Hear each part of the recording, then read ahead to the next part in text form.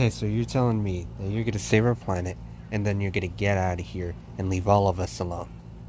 That is 100% correct. And when this is all over, you can go back to your miserable life, and I can go to the Mushroom World.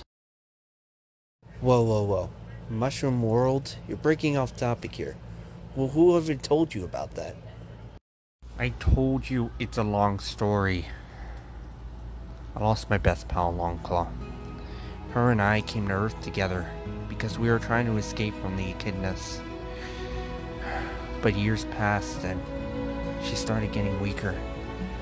I took care of her because she used to take care of me. But it turns out she didn't make it. Well, you done the most you can do. I'm pretty sure she would have been real proud for what you've done for her.